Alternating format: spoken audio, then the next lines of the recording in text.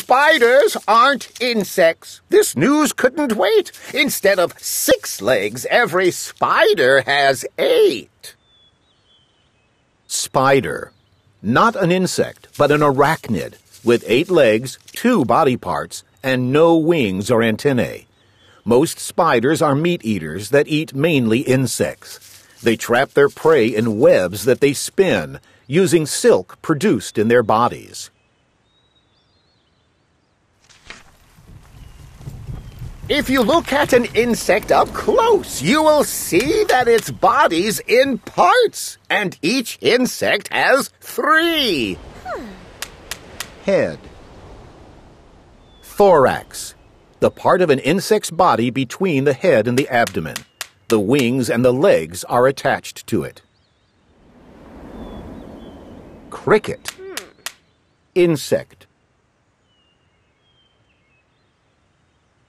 First the head, then the thorax, and here at the end is the longest part, which is called the abdomen.